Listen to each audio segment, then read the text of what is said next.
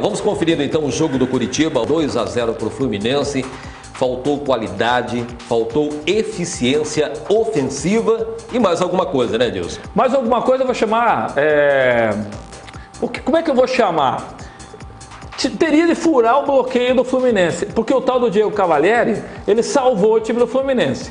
O time do Curitiba, ele foi no mínimo igual ao time do Fluminense. Alternou altos e baixos é, durante o jogo, mas não foi inferior tecnicamente ao time do Fluminense. A diferença está o Fluminense teve três oportunidades de fazer gol, fez dois, né? Curitiba teve cinco oportunidades de fazer, não foi competente para fazer nenhum.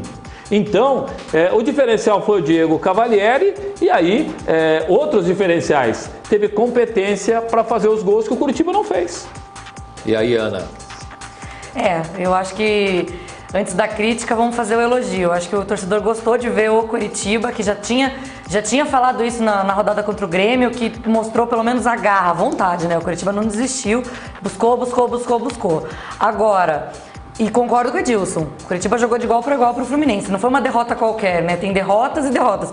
Foi uma derrota lamentável, por quê? Porque a gente viu aí 80 minutos de jogo muito equilibrado. No final, realmente é, o jogo foi desequilibrado a partir, a da saída, saída por expulsão do Ayrton. Exatamente. Aliás, uma expulsão infantil, Ayrton não podia ter feito isso num jogo tão importante em casa. O Curitiba não tem mais gordura para queimar.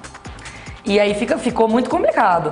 Né? O Ayrton, lamentavelmente, expulso aí por uma situação infantil. O Deco, jogou, o Deco jogou muito solto, com muito espaço para criar? Mu jogo, eu até acho que não. Eu acho que o Chico acompanhou eu e marcou concordo. muito bem o Deco. Só que o Deco, como ele é um jogador extremamente qualificado, o que ele fez?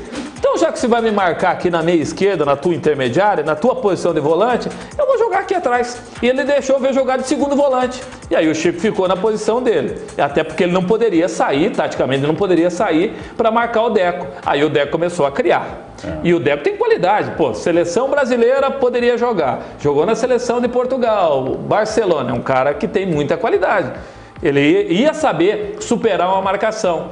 E aí ele jogou, jogou, dava a impressão que ele estava jogando com liberdade. Mas aí porque ele é um jogador diferenciado. E aí eu vou